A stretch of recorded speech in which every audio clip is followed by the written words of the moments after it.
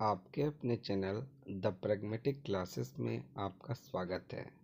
बिहार शिक्षक भर्ती 2020 शिक्षा विभाग ने जारी की सूचना। 20 अप्रैल से कार्यालय खुलेगा।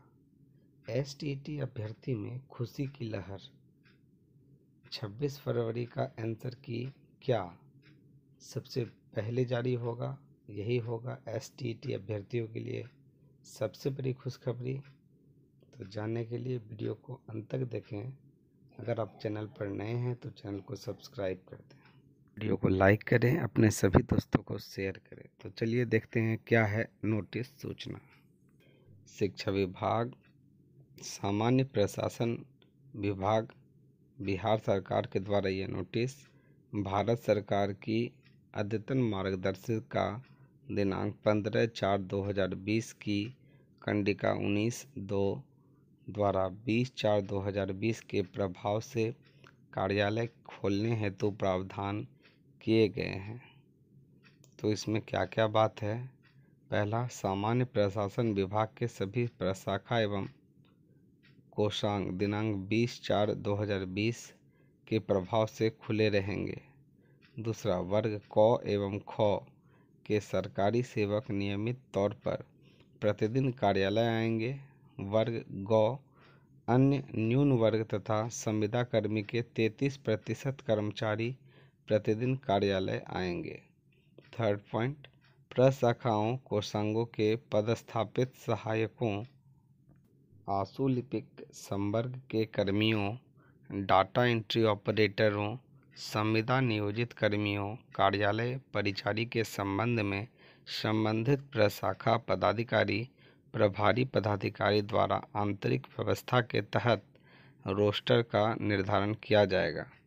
चौथा पॉइंट, उच्च वर्गीय लिपिक एवं निम्न वर्गीय लिपिक के संबंध में पूर्व में निर्गत कार्यालय आदेश, दिनांक 16 तीन 2020 एवं छियानवे, दिनांक अठारह तीन 2020 द्वारा निर्धारित रोस्टर 20 चार 2020 से दिनांक तीन पाँच 2020 तक प्रभावी रहेगा।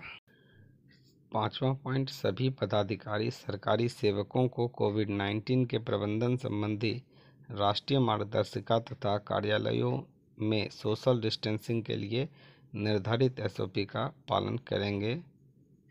चलिए, प्रमुख रूप से शिक्षा विभाग के द्वारा जो सूचना जारी किया गया है, उसे देखते हैं।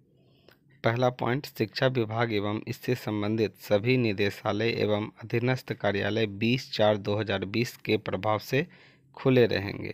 वर्ग क एवं ख जिनमें कि प्रतिदिन नियमित रूप से कार्यालय आएँगे ये प्र, ये सरकारी कर्मचारी और सेवक। वर्ग गौ का न्यून वर्ग का 33 प्रतिशत कर्मचारी ही आएगा। तीसरा पॉइंट मुख्य स्तर पर मुख्यालय में कर्मियों की जो संख्या है उसके अनुसार संबंधित शाखा के प्रभारी और मुख्य पदाधिकारी अवश्य आएँगे। चौथा पॉइंट कुल कर्मियों को तीन समूह में विभक्त किया गया है। समूह एक के कर्मचारी बीस, इक्कीस, बाईस और तेईस को आएँगे। समूह दो में चौबीस, पच्चीस, छब्बीस, सत्ताईस और अट्ठाईस अप्रैल को। और समूह तीन में उनतीस, तीस अप्रैल और एक, दो, तीन मई तक।